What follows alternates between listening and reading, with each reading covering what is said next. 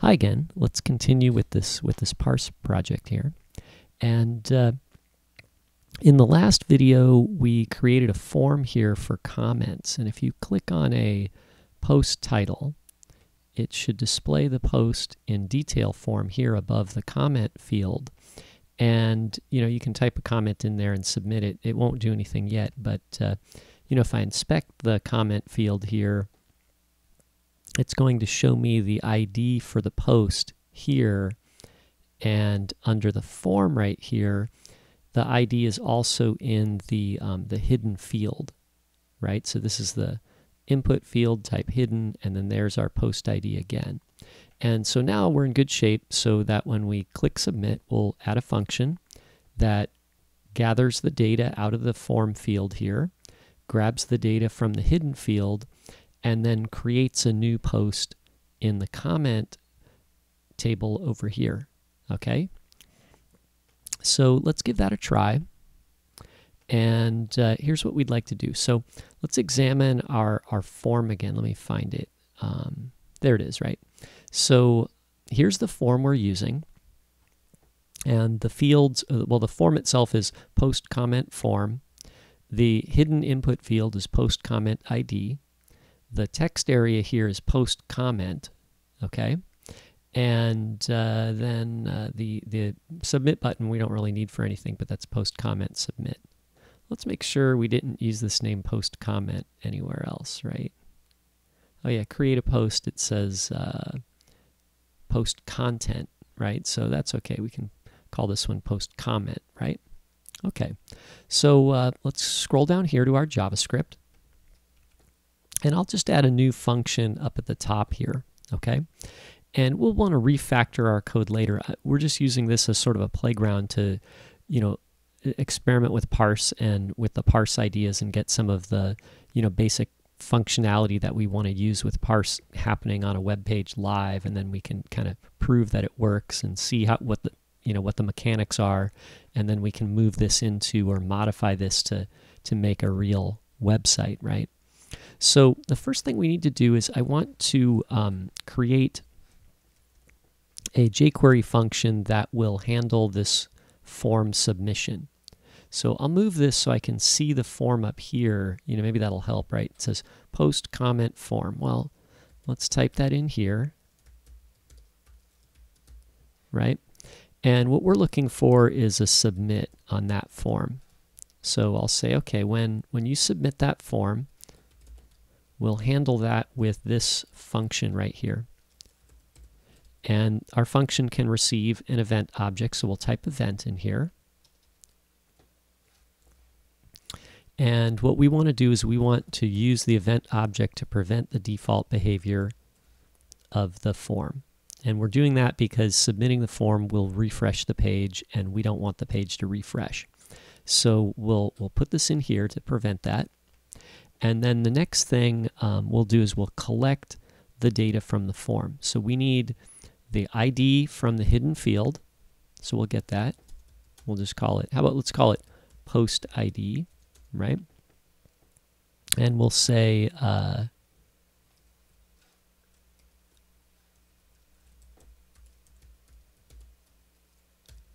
we'll call that post comment ID. And then to get the value from the hidden field, you just use val. Next, we'll get the comment here from the text area. So we'll call this, you know, how about post comment? Actually, let's do it this way with the with the uppercase C, right? And then this is going to be post comment like that. And then again, um, we can get this with val. And uh, and then that's pretty good. So so now that we've got the the data from the form, let's take a quick look back at our at our table here, right? And the table that we've created, and even if you haven't created it, our code will create it. So you know if you don't even have this, remember parse will create that if it doesn't exist. But this is what we want to create. We want to create a table that contains a content as a string. That'll be the, the comment that you typed into the field. and then it will have a user attached to it. So this is the user that submitted this comment. And then it'll have a post object attached to it too, saying this is the post that the user commented on. So that way we can associate comment with post and comment with user. Okay, so you'll notice comment or content for the comment is just a string, and user and post are both pointers to other tables that we have. So the user field here points to the user table, and the post field points to the post table.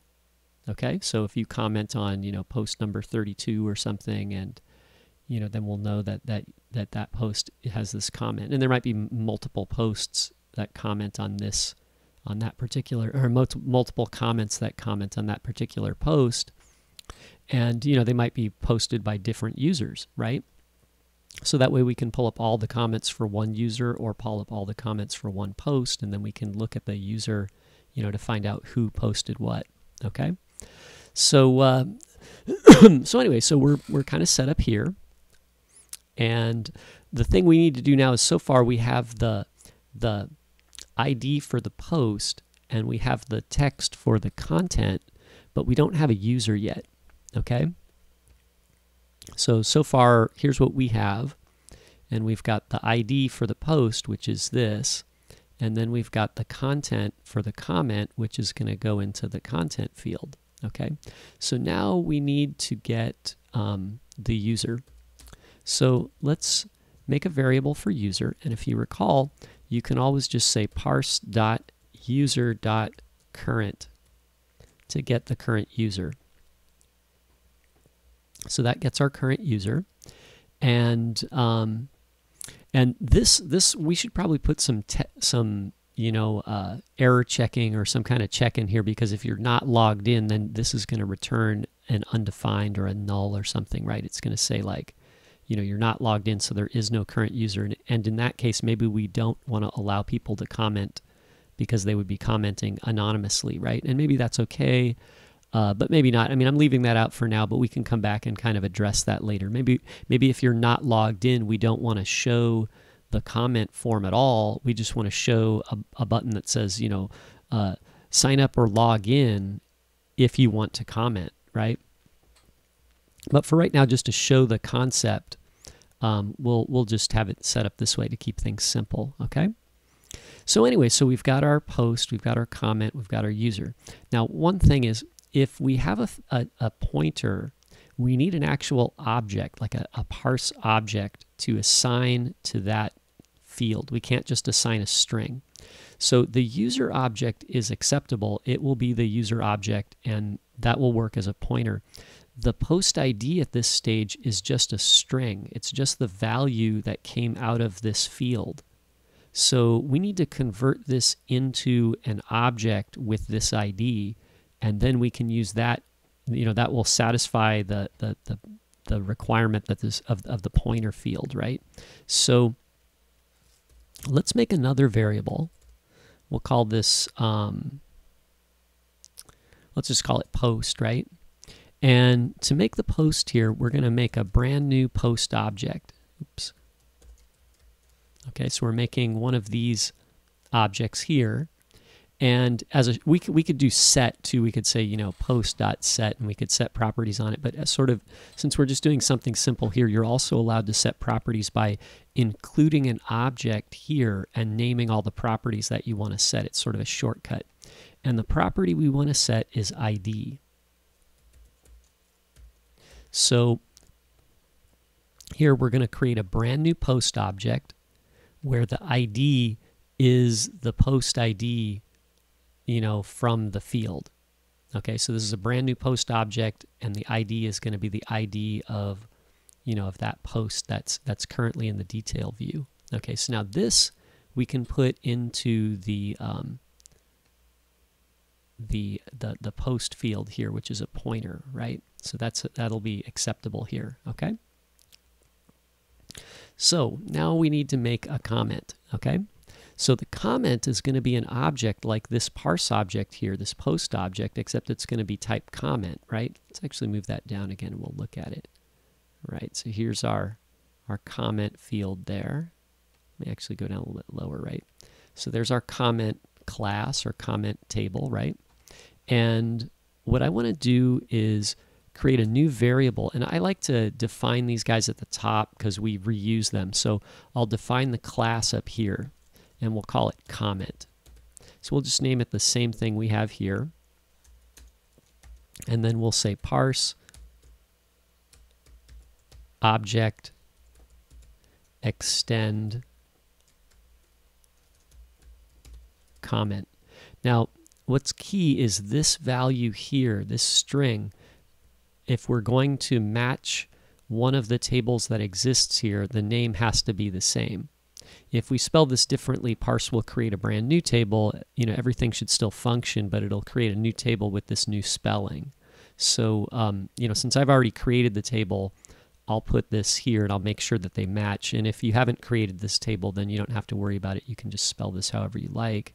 You know, ideally, you know, if we follow a pattern, it'll be easier for us. So, you know, I'm always naming the class names here for the tables with an uppercase letter and then the, the column names here with lowercase letters, right? So here's our new class and we can create new comment objects from that class. So let's do that. Let's say var comment equals new comment. Okay? And we could actually set this up by, you know, putting the curly brackets here and saying, you know, content colon, right? And, you know, but that would be kind of long and it would all be on one line. And that might work for some people. So, uh, and that's fine. You can go ahead and do that just like we did here.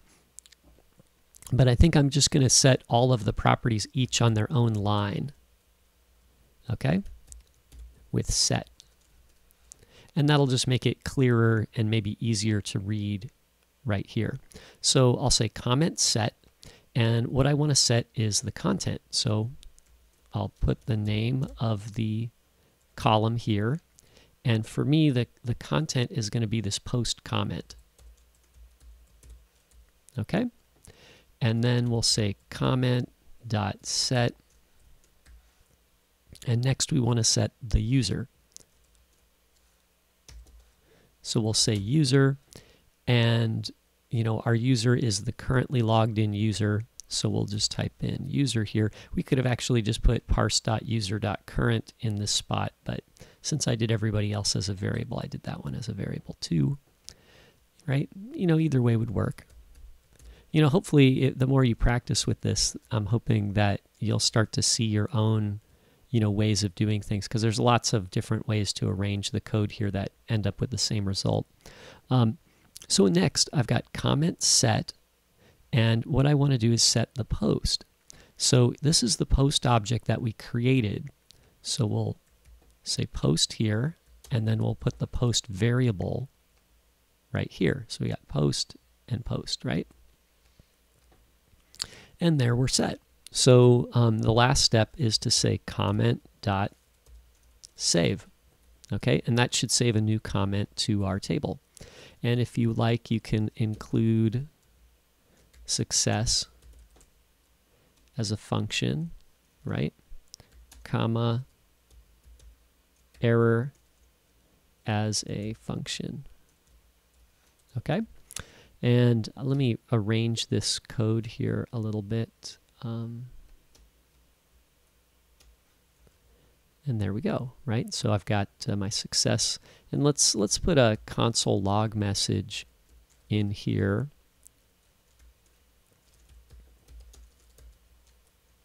And I don't have any code that I want to run right now. We'll just put that message in there. And you know, in the future, when we display the comments, we'll probably want to update the comment display after we add a new comment. So that'll happen here, right? If you successfully post a comment, then we'll update the, the display, right?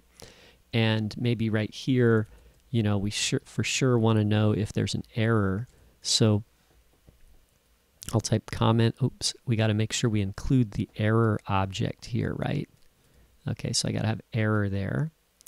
And uh, right here, we'll say, you know, comment save error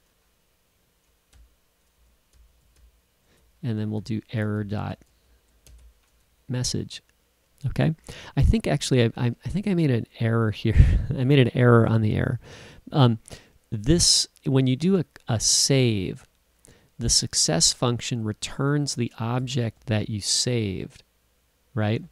And the error returns the object that you were saving, and then it includes the error as the second parameter. And that's a little that's for me that's the most confusing thing about this is some of these, you know, success and error functions take a different set of parameters, right? They're just arranged a little bit differently. But anyway, I, th- I think this one is arranged like this, right? It's got the object and then the error message. So let's save that and then we'll see what happens. So uh, we'll save it here. Let me refresh my page. Let's pull up the console here. Oh, no errors yet, so we're doing okay. Let's click on one of the posts to load that post up here. There's our post. And now let's add a comment to this post. Let's say um, commenting on geo post. Okay? And then we'll submit. Oh, look, it says comment saved. Let's go to parse here and um, let's refresh the comment table. Oh, look, there's our comment. So if this is working correctly, you know, this says comment on geo. I'm going to assume that the rest of that is the correct text. And then the user was our current user, right? And we have our, our page set up to display the username here. So the current user is called test. So if I click on this, it should take me to the test user over here, right? So I'll click on that. And there's user test. So that's working, right? Let's go back and then the post we posted, you know, or that we that we um, the the the post that we commented on is this post called post geo, right? So if we click on this, this post ID right here, that should take us. This pointer should point to the post here called post geo. So let's click on that. Oh, and there's post geo. So I, think it's working. Um, right now, it's not displaying all of the comments, but we'll add that as a feature later. I, I made this post geo because and these geo ones because I was I was playing around with Parse's geolocation feature. You know, if you want to map something, Parse can save the geolocation in the database, and they have some functions that work with that. So I thought that was a really interesting idea. So maybe I'll cover that in an earlier in a later video, and uh, you know, and, and we can talk about that too. Um, so anyway, so there we go. I think that was pretty successful for right now. Um, thanks for watching.